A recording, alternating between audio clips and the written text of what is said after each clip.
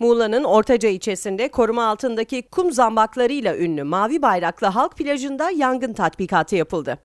Sarıgerme Çevre Eğitim Derneği plaj personeline yangın söndürme tüpü ve yangına müdahale eğitimi verildi.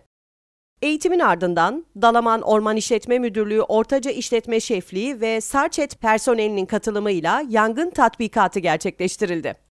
Senaryo gereği otoparkta çıkan yangın rüzgarın da etkisiyle kısa sürede yayılarak çevredeki ormanlık alana sıçradı. Verilen alarm üzerine harekete geçen ekipler yangını büyümeden söndürdü.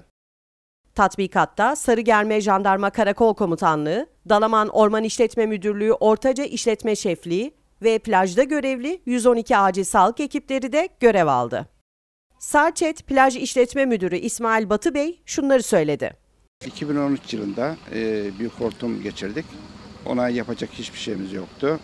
Ama son zamanlarda e, çıkan yangınlarla ilgili ciğerimiz yanıyor. Bunun için bir önlem almak e, adına tüm personelin bilinçlendirilmesi, tüm birimlerin bilgilendirilmesi yönünde bugün bir tatbikat yaptık. Başarılı bir tatbikat geçti. E, tüm katılımcılara ben teşekkür ediyorum. E, çevrenin ve e, doğanın bilinçlenmesi adına e, iyi bir e, tatbikat olduğu kanısındayım.